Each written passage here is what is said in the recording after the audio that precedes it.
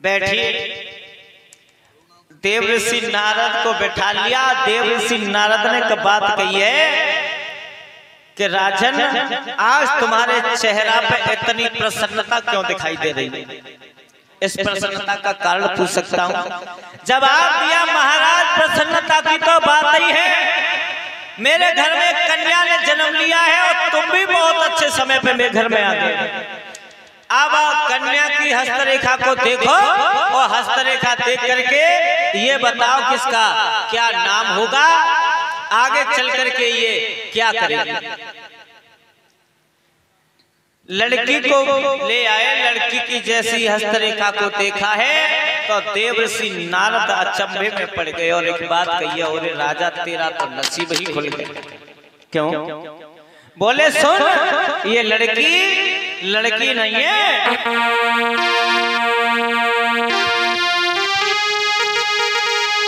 कि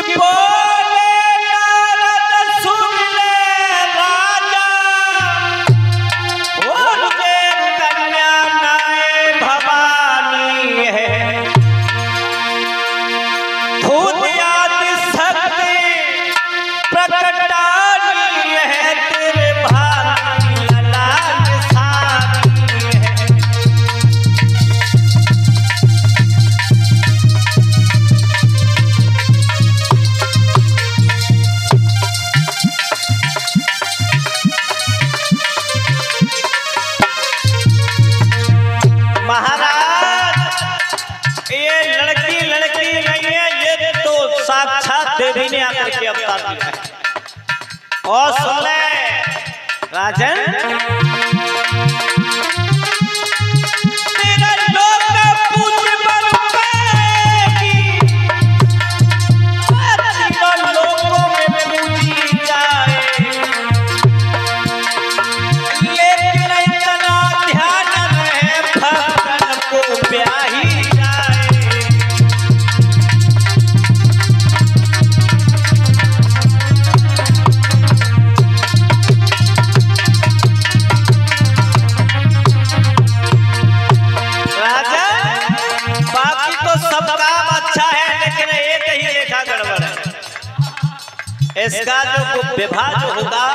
वो किसके साथ होगा सुन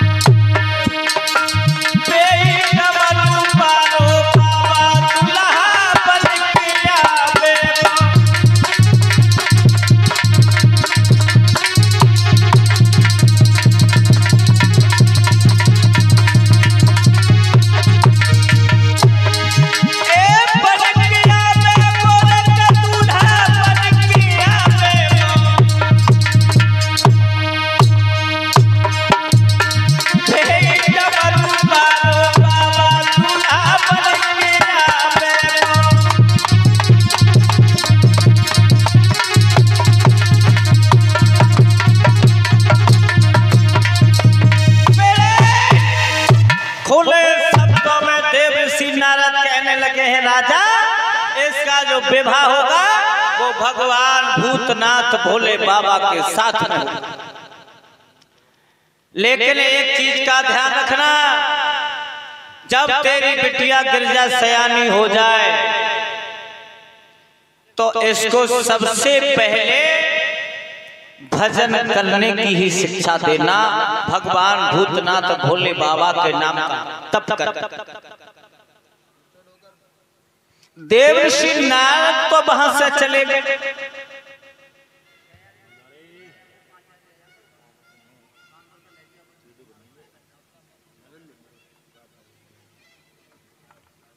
धीरे धीरे समय जब व्यतीत होने लगा है।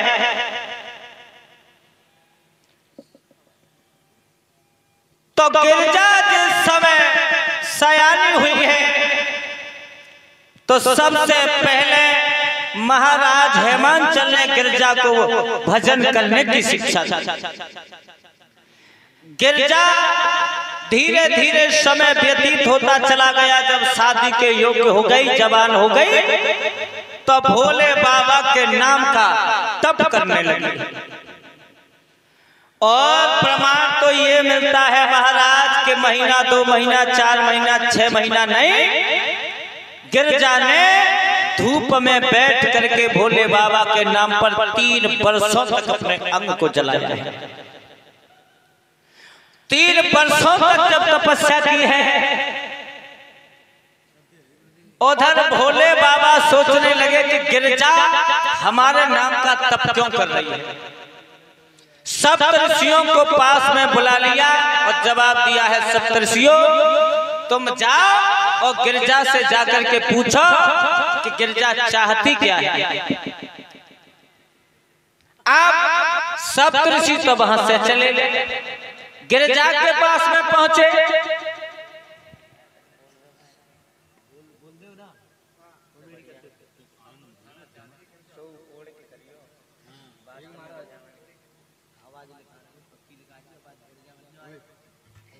गिरजा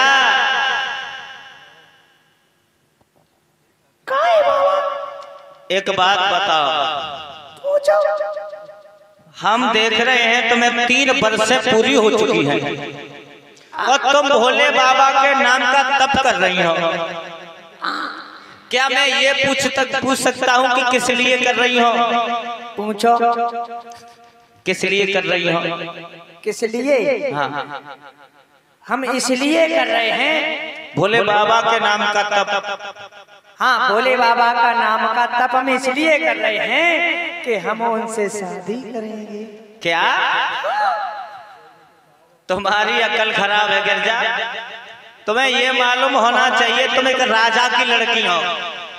हैं? मैं तो खूब और भोले बाबा के पास ऐसा क्या देख लिया तुमने जो भोले बाबा के साथ में शादी करोगी? भोले बाबा के पास में कुछ देख लिया हो या नहीं देख लिया हो, मैं तो उन्हीं के साथ में शादी करूँगी। हाँ। घर में मड़ैया ना है हार में टपरिया ना है पूरे दिन भाँग घोट घोट के पीते रहते हैं। और तुम्हारी अगर शादी उनके संग में हो गई तो तुम भाँग ही पीसत पीसत निक- ज़िंदगी निकल जाए बेशक निकल जाए मैं तो उन्हीं के संग शादी कराऊँगी ना तो कुआँ में कूद गच्चे मारूँगी और लड़का बहुत है बहुत राजा है और मैं से किसी को चुन गिर गिरजा बहुत बेशक होंगे उनके जैसो एक ना है क्यों? क्यों का वे बहुत अच्छो डमरू बजाते हैं बड़ो मीठो डमरू बजाते हैं। डमरू की बात है। और सप्तऋषि सोचने लगे कि अब तो भोले बाबा के नाम का गिरजा के ऊपर भूत सवार हो गया।